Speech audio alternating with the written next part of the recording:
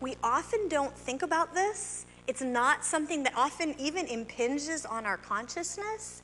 And I've realized just how much, not just having sort of a good, competent presentation, but knowing those secret keys to how we are viewed by people who might think differently than we do.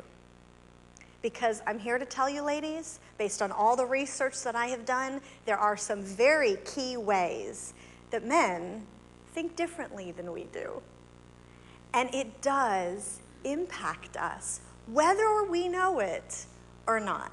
So, one of the key factors in being a woman of effectiveness and influence really is having this I hate to say it, but it's sort of like this secret knowledge because they will never talk about it.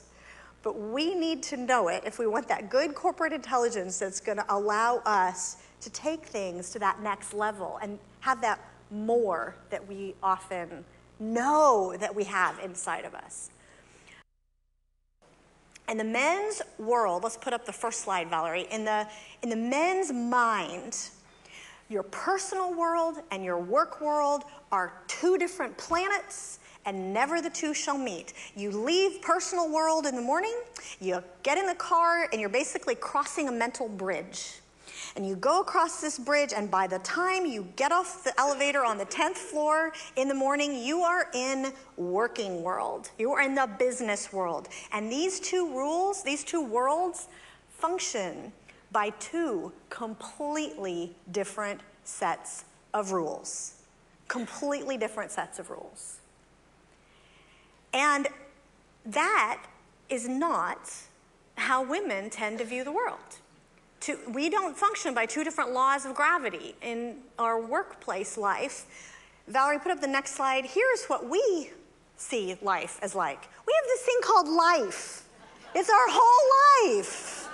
And work is a part of life, but it's part of life we don't view the two things as being so completely different that you are almost functioning by such completely different laws of gravity. And this is what men view that, for example, it's almost as different. The laws of gravity are so different, the natural laws, that it's almost as if in one world you drop a pen and it falls to the ground because the law of gravity works this way.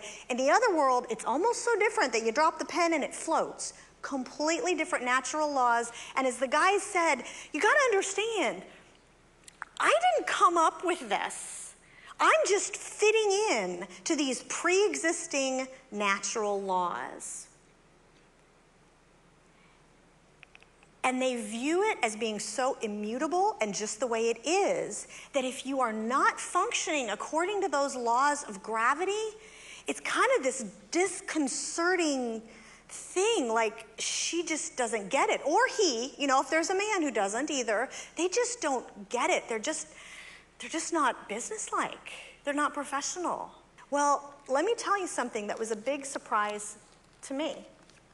We all view emotions in you know fighting back tears. We all view that as being inappropriate like i said and unprofessional. What i hadn't realized is that getting emotional to a guy is way more than fighting back tears. There is far more that they look at it and they go, oh, this person's getting emotional. Okay? And when that happens, it has a big impact on how we are viewed. Very sensitive issue. However, I would be doing a very big disservice if I did not mention it because it may not affect a lot of the women in this room. It might, it may not, but it probably affects some of those you manage. And you probably see it in the workplace and may not have known what a big deal this is. And it's basically about a third of the women on my survey, of the white collar women on my survey, said that they sometimes dressed in a way that showed off a good figure.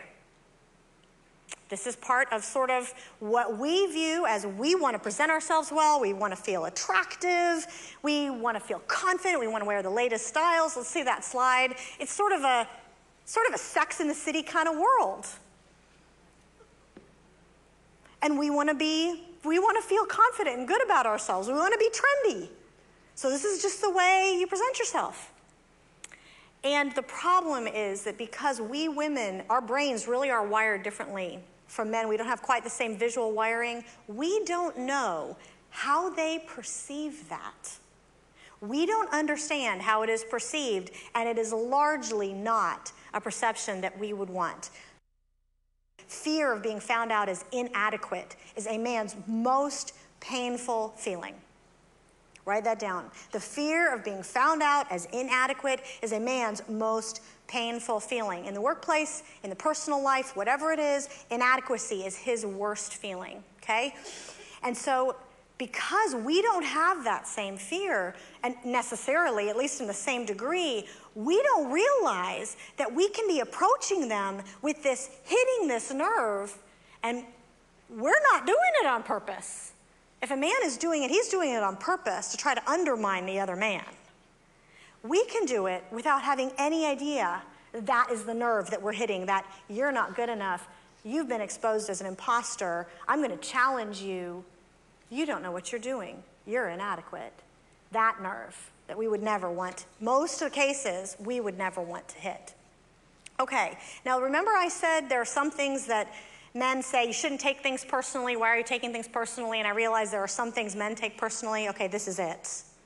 Okay, this is the area. And we, we sometimes miss it. We say, he's, how many of us have thought this? He's just threatened by a strong and competent woman. He's just threatened. And you know what? Yeah, he is. But it's not just by a strong and competent woman, by anybody. Okay? They have this sense that over, they're not just oversensitive to us, they're oversensitive to each other too. It's just men know how to navigate with each other so they don't trip that up unless it's on purpose. So, what are some of these samples, these triggers? What are some of these things that do trigger this hot button of self doubt and insecurity about their adequacy? I will encourage you, ladies, if you doubt what I'm saying, totally fine. If you don't believe what I've said, I totally understand. If you find some of it offensive, I did too. But what I would encourage you don't believe me. Pick one thing and try it. Just try it.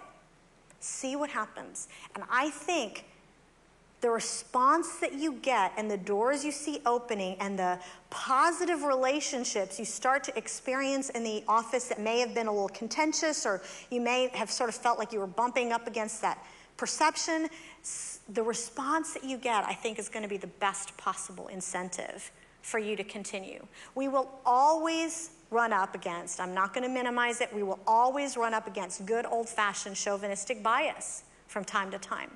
But I can't tell you how much of an opportunity there seems to be, based on all these interviews and surveys, for women who will learn the male culture and understand how to work with it to be perceived well.